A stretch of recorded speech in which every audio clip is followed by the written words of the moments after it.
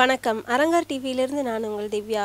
துறையூர் ஓங்காரக்குடியில் வைகாசி மாத பௌர்ணமி விழா நடந்துட்டுருக்கு. ஐயாவை பார்க்கறதுக்கு நிறைய அன்பர்கள் வந்திருக்காங்க. வந்திருக்க அன்பர்கள் கிட்டலாம் அவங்க வாழ்க்கையில் நடந்த அனுபவத்தெல்லாம் நம்ம கேட்டு தெரிஞ்சுட்டு இருக்கோம் இப்போ ஒரு அன்பர் வந்திருக்காங்க. வாங்க அவங்க என்ன சொல்கிறாங்கன்னு கேட்டு தெரிஞ்சுக்கலாம். வணக்கங்க ஐயா.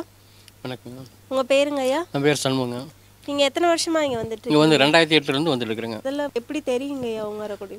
முதல்ல இந்த மாதிரிக்கு சில புத்த மாத இதழெல்லாம் இப்போ பார்த்துக்கிட்டேங்க அப்புறம் இங்கே அங்கேருந்து காய்தல் சில பேர் வந்துட்டு இருந்தாங்க. அவங்க மூலமாக தொடர்பு கொண்டு நான் அப்போ அப்பப்போ வந்துட்டு இருக்கிறேங்க. வந்து முதல் தடவை பார்த்தப்ப உங்களுக்கு எப்படி இருந்துச்சுங்க மனநிலை? அதில் பார்த்து நல்ல மனநிலை நல்ல நிறைவாக இருந்தீங்க. நீங்க நிறைய ஆன்மீக ஸ்தலத்துக்குலாம் போயிருப்பீங்க. அங்க இருக்கிறதுக்கும் இங்க ஓங்காரக்குடி அங்கே நிறைய மாற்றங்கள். மனதிலிருந்து ஒரு நிறைய மாற்றங்கள் அடைஞ்சிருக்குங்களா? மற்ற பக்கம் போதை விட இங்கே வந்ததையும் மன மாற்றங்கள் நிறையா இருக்குது. பாவம் என்ன புண்ணியம் என்ன தெரியாத அளவு நிலைமையில் முதல்ல இருந்தா.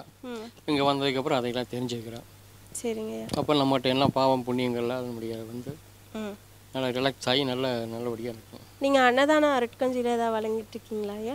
அன்னதானத்துக்கு அரிசி அன்னதானம் கொடுக்குறேங்க. ஐயா கிட்ட அன்னதானத்துக்கு நிறையா கொடுத்துக்கிறோம் ம். எங்களால் முடிஞ்சே கொடுத்துக்கிறோம் சரிங்க ஐயா. அப்புறம் காங்கி அங்கே வசூலுக்கு வந்தாங்கன்னா அங்கே அரிசி கொடுப்போம் ம் சரிங்க ஐயா. ஐயாவை வந்து முருகப்பெருமானோட கல்கி அவதாரம்னு சொல்றாங்க. அதை நீங்க எப்படி உணர்ந்தீங்கன்னு மக்களுக்கு புரியும் மூலமா சொல்லுங்க ஐயா. நாங்கள் டெய்லியும் வழிபாடு பண்ணுறோங்க சித்திரை வழிபாடு பண்ணி நூற்றி முப்பத்தெட்டு சித்திரை வழிபாடு டெய்லி பண்ணிட்டு இருக்கிறேங்க. அதன் மூலமாக நிறைய சமயங்கள் உணர்ந்துருக்கிறோம். ம் சரிங்க ஐயா. மன மாற்றங்கள் வாழ்க்கையிலையும் நிறைய மாற்றங்கள் உண்டாயிருக்கும் வாழ்க்கையில நிறைய மாற்றம் உண்டாச்சு அப்படின்னு சொன்னீங்க. ஏதாவது ஒரு மாற்றம் எங்களுக்காக சொல்லுங்க ஐயா. ஏதாவது ஒரு மாற்றம்னா இப்போ எங்கள் பொண்ணுங்களாம் கஷ்டப்பட்டு படித்தாங்க படிக்க வச்சோம் வேலைக்கு போனாங்க. நல்ல நிலையில் இருக்கிறாங்க நீங்களே ம். அப்புறம் இங்கே தொழில் மன நிறைவாக இருக்கிறோம். சரிங்க ஐயா. துறையூர் ஓங்காரக்குடியில பத்தியும் ஐயாவை பத்தியும் உங்க நண்பர்கள் கிட்ட உறவினர்கள் கிட்டலாம் சொல்லியிருக்கீங்களா? நிறைய பேர்த்துக்கு சொல்லிக்கிறேங்க சில பேர் இங்கே வந்திருக்கிறாங்க. வராதவங்களும் இருக்காங்க இருக்கலாம். வந்து பார்த்தவங்க என்ன சொன்னாங்க வந்து பார்த்தவங்க பரவாயில்ல வந்துட்டு இருக்காங்க. தொடர்ந்து வந்துட்டு இருக்கிறாங்க.